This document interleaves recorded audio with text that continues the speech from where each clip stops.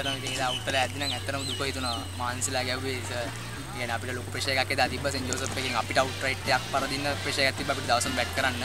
Sir කිව්වේ ඒකයි දේශන් පැත්තක් ගහන්න කියලා දවසම. ඒකත් ඔළුවේ තිබ්බා. නිකන් මම අවුට් වෙද්දී ටී එකට ටිකක් ලං වෙලා අවශ්‍යයෙන් දෙයක්ත් තිබ්බ බැට් කරන්න. ඒක ගැන දුක හිතුණා. මොකද අපිට අවශ්‍යයෙන් එකක් ගහන්නත් ඕන. මගේ මාත් 99යි දැනගෙන නම් හිටියේ නෑ රෙකෝඩ් එකක්.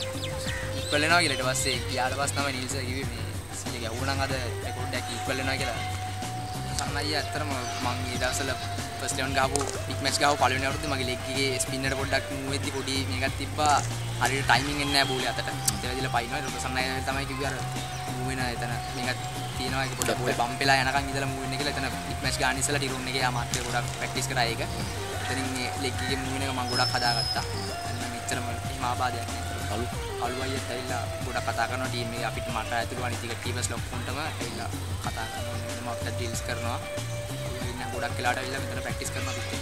ආ ඒතරයි අයිඩියස් දාතර එකම ටාගට් එක තමයි පුළුවන් තරම් ඉක්මනටම දාගන්නේ මට ඊයේ පාරක් දාගාලා මම එතනින් යාට නිකන් ලොකුවට හිතුවේ නෑ ටාගට් එකට බ්‍රේක් කරන්න ගහන්න මම අනිවාර්යෙන්ම පාර රෙකෝඩ් එක බ්‍රේක් කරන්න ගහන්න තමයි ලොකුම ප්ලෑන් එක.